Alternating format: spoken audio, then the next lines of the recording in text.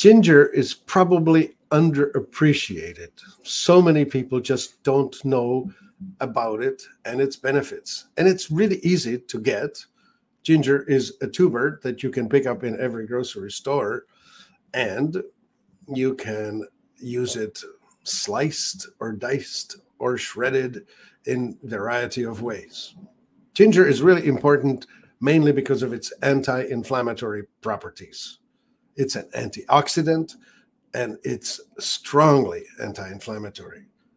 What's that mean? Well, it's anything anti-inflammatory is anti-aging.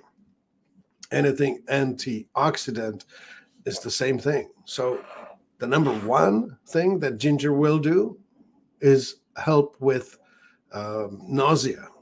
So, especially women who are experiencing some kind of a morning sickness, that is definitely a helpful thing there. And it's a natural food. You don't have to worry about taking some while pregnant.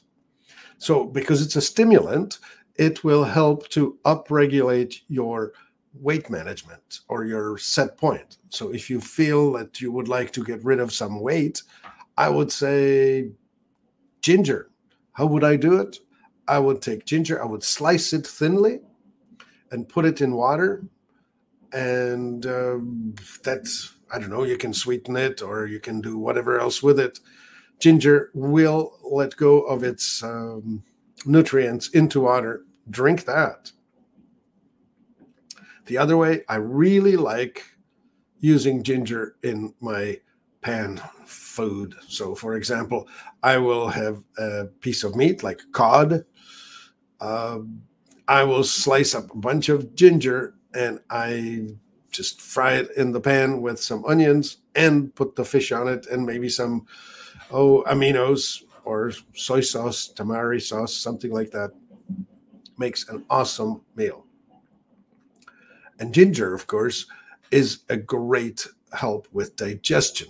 It encourages motility. What's that mean?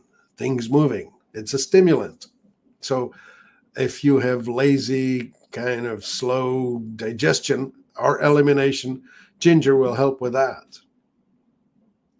And the other thing, of course, I mentioned anti inflammatory. So that means that it will help with joint issues. Like if you're hurting in body parts, ginger will be helpful in getting the stuck, whatever that stuckness is, moving again. And as you may know, pain happens in places where the chi, the life force, is not moving. So getting movement is a good thing, and ginger is an awesome stimulant.